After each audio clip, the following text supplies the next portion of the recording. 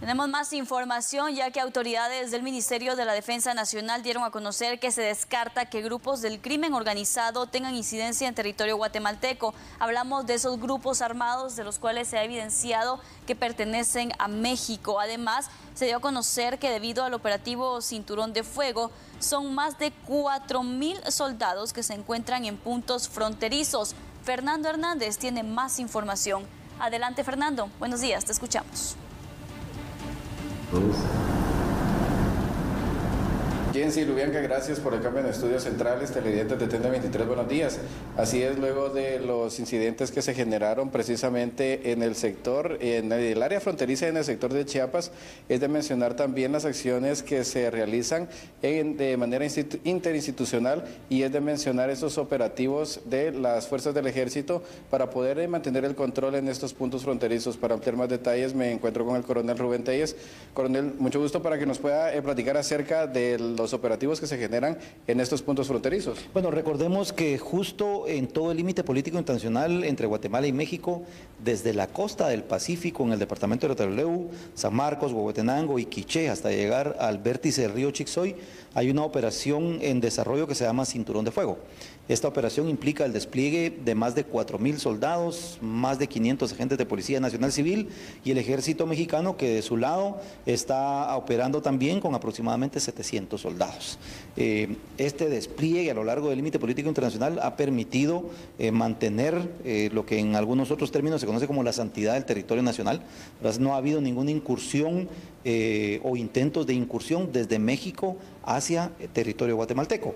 Eh, no ha habido incluso hasta los, los, índices de delincuencia han disminuido drásticamente, sobre todo el lugar donde está esta operación. En el departamento de Petén eh, hay dos brigadas de infantería que están también realizando operaciones interinstitucionales que están un poco más enfocadas hacia lo que es la salvaguarda de recursos naturales y protección de parques nacionales y áreas protegidas, pero igual tiene el mismo efecto sobre el límite político internacional entre Guatemala y México.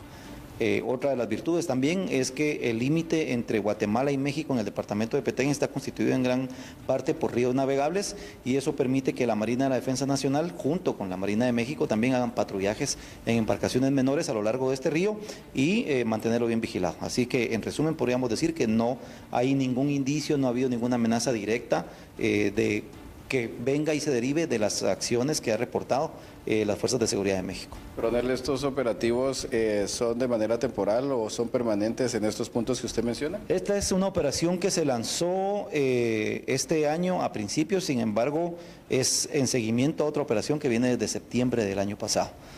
No tiene una fecha de finalización. Eh, todas las fuerzas que están empeñadas ahí tienen recursos disponibles de movilidad, de vigilancia eh, sobre vuelos aéreos, eh, en los espacios acuáticos, la Marina, como ya lo mencionamos, y no hay una fecha de caducidad de esta operación. Continúa hasta que la situación en el territorio mexicano ya no se considere como algo de riesgo para la seguridad en territorio guatemalteco. Básicamente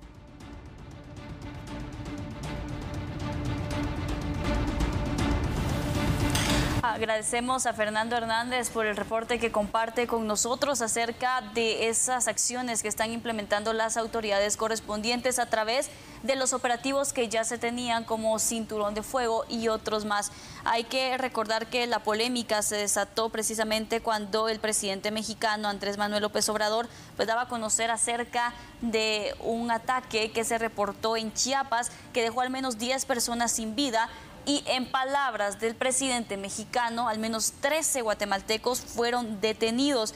A estos, eh, pues, esta situación se le atribuye a un grupo del crimen organizado. Incluso al inicio de esta emisión le dábamos a conocer pues, el video que circula en redes sociales en donde integrantes de un grupo, supuesto grupo de crimen organizado, pues daban a conocer fuertes señalamientos en contra de funcionarios mexicanos.